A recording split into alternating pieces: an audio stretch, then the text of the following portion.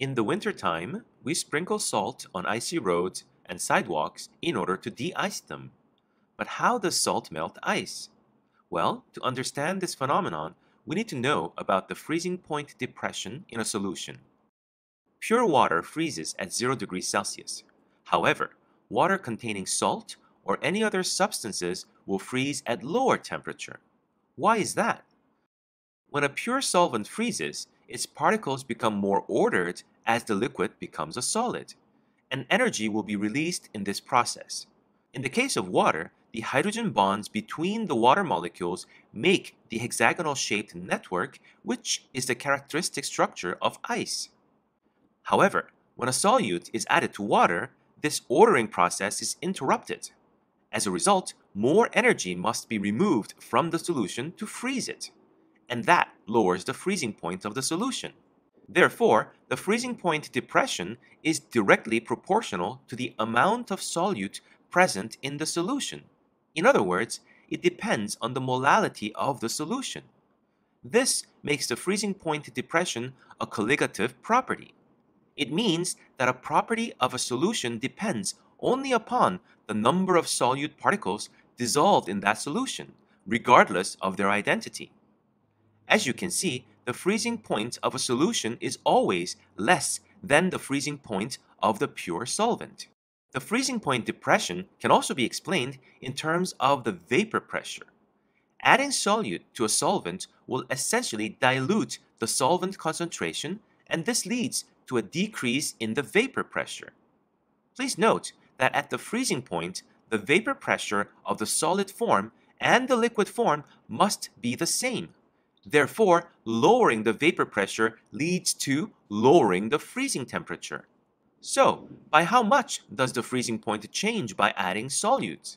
Well, it can be calculated by the following formula. Difference in the freezing point is equal to I times K of F times M where K of F is the molar freezing point depression constant, and M is the molality, and I is the Van 't Hoff factor or the ionization number. Freezing point depression has interesting and useful applications in everyday life. When salt is put on an icy road, the salt mixes with a small amount of water over the ice surface and prevents freezing. If you mix salt and ice in a Ziploc bag, the same process makes the ice colder, which means it can be used for making ice cream. Yummy!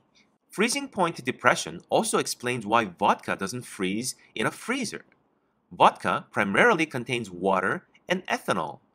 Pure water freezes at 0 degrees Celsius, and pure ethanol freezes at minus 114 degrees Celsius.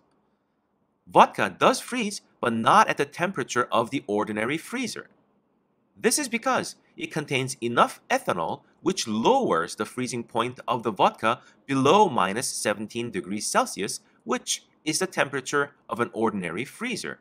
Animals living in cold climates have natural antifreeze proteins or AFPs produced in their bodies. Antifreeze proteins allow cells to survive in sub-zero conditions. It binds to ice crystals in their blood in order to prevent crystallization. AFPs have been found in various organisms such as fish, insects, and other terrestrial arthropods. Coming back to de-icing the road, salting the ice road is the common procedure to de-ice the snow-covered roads. Sodium chloride, NaCl, calcium chloride, CaCl2, or magnesium chloride, MgCl2, are used most frequently either alone or as a mixture. Sodium chloride is the least expensive option, but is less effective because it only dissociates into two ions instead of three. What is the new freezing temperature after de-icing? Well, it depends on the amount of the de-icing agent. The higher the concentration of salt, the lower its overall freezing point, making driving safer. That's it for today. If you have any questions or suggestions, please let me know in the comments below.